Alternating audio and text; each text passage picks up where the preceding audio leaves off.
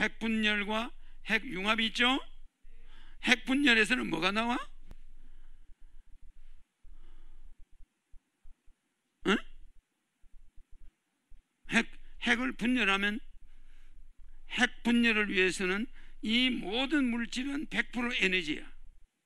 모든 물질은 최대한 온도를 올리면 이게 전부 에너지라고. 전부 분열이 일어나.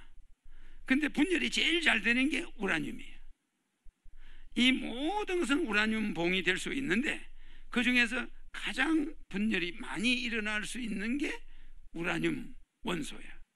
그러면 그 우라늄 원소를 가지고 분열을 거기다가 중수를 넣어 가지고 분열을 시켰다 이 말이에요. 그러면 그 우라늄을 원소를 분열시키는 작업을 해서 거기다가 다른 걸 넣어 가지고 분열을 가속화시키는 거예요. 근데 이런 거는 분열이 더뎌. 이런 거 이런 물질들은 분열이 더디니까 분열에 비해서 에너지가 적게 나오니까 에너지가 가장 많이 나오고 분열이 쉬운 것이 뭐야? 우라늄이라는 원소예요.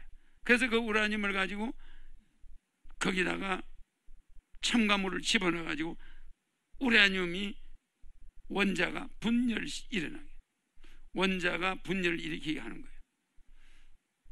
무슨지 알죠? 그러면 분열에서 일어나는 것이 원자력이야, 원자탄이고 융합은 뭐예요? 수소탄이야. 수소탄 있죠? 수소탄은 이 모든 것이 에너지인데 이 에너지를 분열 반대로 오히려 원자를 묶어주는 거지. 묶을 때 나오는 에너지가 분열 때보다 더 많아. 그래서 수소탄이 더 무서워. 수소 폭탄이 더 무섭다고. 무슨 말인지 알죠? 보관하기가 무섭고 어려워서 그렇지. 수소 폭탄이 원자탄보다 더 위력이 커. 왜? 융합이니까. 핵이 융합됐을 때와 분열됐을 때 에너지 비교야. 무슨지 알죠? 그럼 우리 국민이 분열돼야 되나 융합돼야 되나? 분열하고 있단 말이야 지금. 무슨 말인지 이해갑니까? 융합을 할 때 진짜 무서운 에너지가 나오는 거예요. 융합을 할 때. 부부가 분열해서 니는 니대로 가고 나는 나대로 가자. 이게 에너지가 많이 나올 것 같아? 두 사람이 화합이 잘 돼버리면 어마어마한 기업도 만들 수 있고 얼마나 가정이 행복하게 잘 살 수 있는데 이게 분열을 목적으로 해볼 때는 망하는 거야. 대한민국 마찬가지예요. 남북이 분열돼 있죠. 그러면 우리가 정신 차려야 되는 거야.